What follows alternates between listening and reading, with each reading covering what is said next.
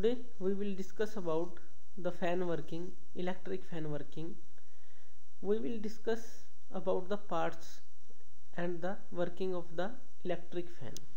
Firstly we have a shaft and a stator. This is the stator and these all are the windings. These windings are called primary winding. The inner winding are called primary winding and the outer windings all are called secondary winding.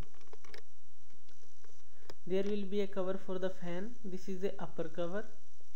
And this is a lower cover for the fan. We have a rotor. This rotor will be placed in that cover in lower cover.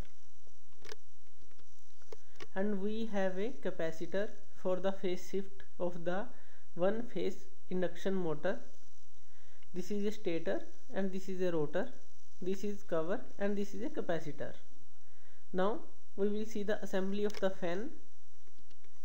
Firstly we will have a lower cover and in this we will have a rotor.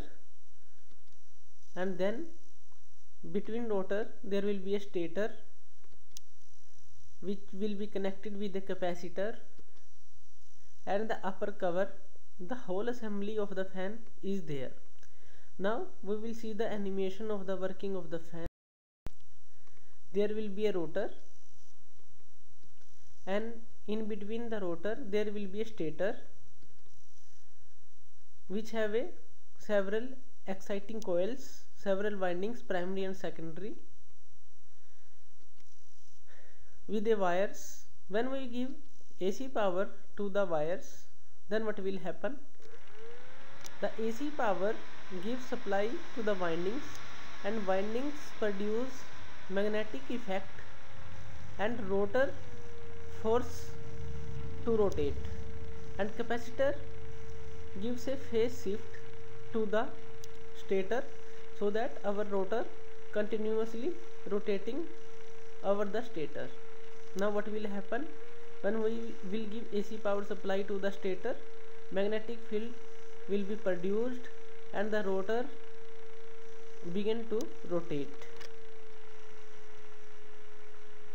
This is the function of rotor and it will start rotating around the rotor and our fan will be in working condition. So this was the working of a fan which have a stator and rotor with AC power thank you